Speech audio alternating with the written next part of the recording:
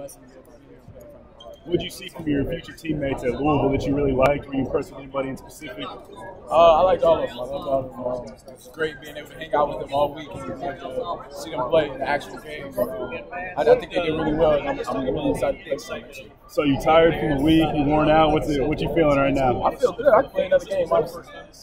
Really? What's your workout routine? Uh,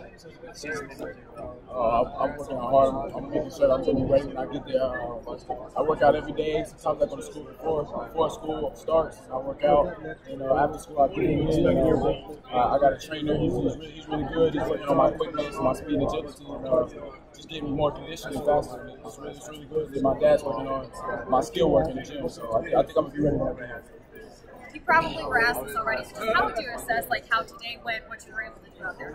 Uh, it was great. It was the best thing ever. Uh, It's a blessing to be able to play out here and this opportunity to play in front of you. Uh, they were great. They, cheered me on. Even, even though I missed all my dunks, they went crazy. You know, but no matter what I did out here, they was cheering me on, calling my name, and I just loved it. I can't wait to get here. Does it make you more excited?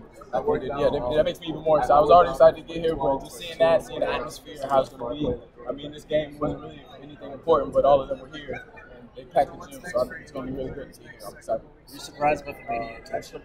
I I actually was. Um, I thought all the attention was going to be on the league. Uh, he's a really good player. I enjoy his game, and um, I mean, he deserves all the attention he gets. And uh, I, I just didn't expect it to all this. It's a blessing.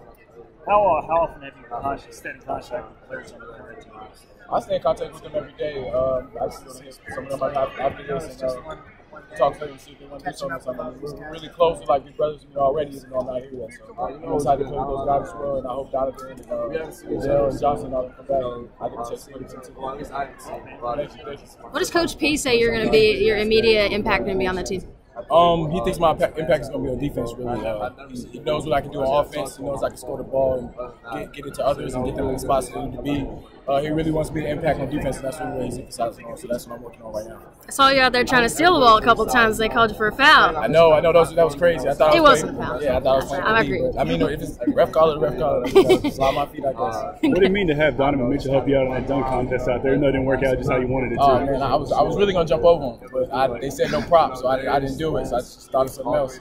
Uh, I wish I could have put the dunk down there. That would've How much fun was it to be out in front of your future home crowd, uh, your future fans?